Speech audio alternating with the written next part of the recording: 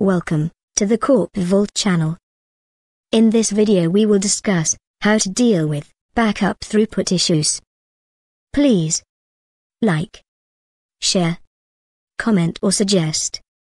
Subscribe for more videos and you can follow us on Instagram. What we will be discussing in this video is general and should be applicable for most of the backup tools, but for this video, we will be using Commvault. We will be taking into account that you are aware of the backup tool Commvault and how it works. To deal with backup throughput issue, and to find out where the bottleneck is, it is important to know the phase of the backup where you experience the issue. Before you proceed with any troubleshooting, it is always recommended to perform basic checks. Most of the times, these basic checks could help pinpoint or provide enough information to resolve the issue. CommServe holds the configuration information. Let us see what the basic checks are. In the CommCell browser, expand Client Computer. Right-click on the client computer, which is reporting throughput issue. Select Properties. Client Computer Properties. General tab. Host name. Commvault uses fully qualified domain name, FQDN, to communicate with the client. Ensure the entry is correct. Ensure the name resolves to correct IP, and IP resolves to correct name. This to ensure the backup data is routed via right interface, so it can complete faster. Version tab. Always ensure the Commvault version installed on the client match with version installed on the CommServe. If you see the difference, then first update the backup software packages, and then continue troubleshooting, if the issue continue to persist. Also, if there are multiple NICs on the client computer, then verify if the resolved IP is correct backup IP, and data is not transferred via production IP, or other interface. Let us check the places where usually people do mistakes. Click Advanced. Job Configuration tab. Improper data interface pair added will lead the backup traffic route via different interface. Launch DNS server. Expand forward lookup zone. Expand subdomain. Verify if a single client name has multiple DNS entries with different IPs. If yes, then cross-check, confirm, and then delete the incorrect entry. The last place to check is the host file entries. If you are using host file entries, instead of DNS, then check the host file entries on CommServe, Media Agent, and the client machine, and then cross-check, confirm, and then delete the incorrect entry. If you see scan is taking too long, then it is not related to throughput. You should look at file scan log, and check for the reason. You might as well look for number of files to be backup. If too many files, especially small files, then the scan would take long time to complete. The communication between CommServe and client or media agent is kind of handshake, as no real backup data transferred to CommServe. If you see the backup phase is taking long time to complete, then it is related to throughput issue. During the backup phase, the data is transferred from client to media agent. Let's discuss the contributing factors for throughput issues. Antivirus software, example, Trend Micro, McAfee, etc. On the CommServe, media agent, and client computers.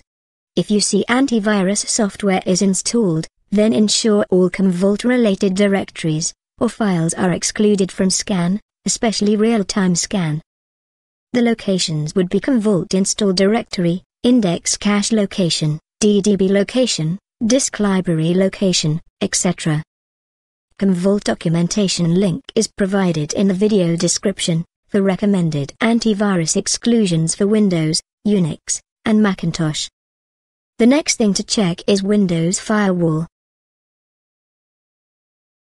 If Windows Firewall cannot be disabled or stopped, then ensure all Commvault processes are added to the firewall.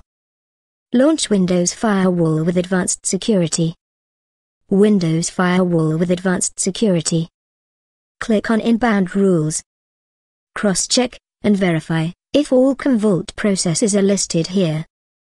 There are scenarios where, despite the entries exist, they do not work properly. In such scenarios, delete all the entries listed here. Stop all Commvault services. Open command prompt in admin mode. Browse to Commvault installation, base directory. Run, add FW exclusions batch file. Start Commvault services. Let us discuss the logs to look into. Right-click on the client, View, Log Files. Select the log file to open window. Use this window to browse and select the log file to open for analysis. In the older version of Commvault, CVD log contained the needed information, but in version 11, they have changed it. Look for Performance Metrics log file. Select the log file, and click Open. CVD log still contains valuable information. Scan and look for entries related to disk read. If you look at this section, you will see process name, process ID, memory usage and other useful information. Using this information you need to analyze, the throughput issue is because of disk issue, network issue, resource issue, etc. Let's take an example, cvd.exe process. The read count is 20148, and the read size which is in bytes, when converted, it would be 25 megabytes. Using these values you need to determine if the system is performing well, or if there is issue with disk. This shows network-related information. You have similar information captured throughout the job. If you know a particular window, when the throughput issue is seen, you can scan the logs for that time window, and check how the backup, or system performed. In Commvault version 11, you also get job-specific performance analytics. Let's get a job ID for a client. Note down the job ID. Right-click on the CommServe, View, Log Files. From select the log file to open, look for the performance metric log, with the job ID that we noted down. Select relevant log, and click Open. As per Commvault, this is the performance analytics for the selected job. We have job duration, data write time, throughput in GB per hour, and stream count.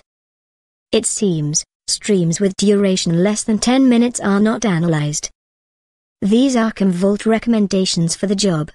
The tool could not find any recommendation for this job stream. On a given server, for disk-related issues, that is, slow read or writes, we would recommend to check for delays, or response times. Launch Task Manager. Select Performance tab. Open Resource Monitor. Select Disk tab. Expand disk activity. The last column is response time in milliseconds. If you see this value is high, then the disk is underperforming, and needs to be checked. Look for the process, or image which is receiving those higher response time. If the process is related to backup, you see the reason for throughput issue. If it is storage LUN, then storage team need to check the reasons for higher response time. If it is a physical disk, then you have Microsoft tools to check for disk performance. So far we have covered these topics. Let us discuss about the network. For LAN connectivity, you need to record the link speeds for CommServe, Media Agent, and Client Computer. If the link speed is 1 Gbps, you know it is too low, so you have to find out how much bandwidth is already in use and what is available for backup traffic. If the link speed is 10 Gbps, then also record how much bandwidth is already in use, and what is available for backup traffic. If network seems to be bottleneck, then try to dive deep into network architecture. find out if there is switch in between, and if there are any packet drops on the switch. What is the switch port speed? Find out the port speeds end to end.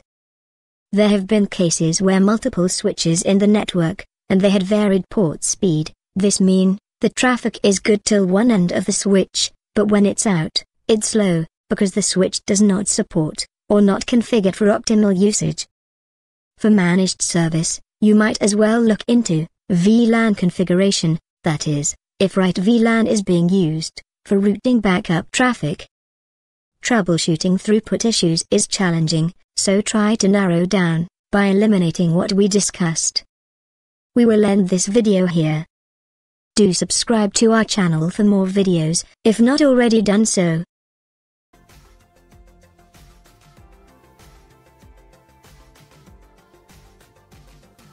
Do subscribe for more videos.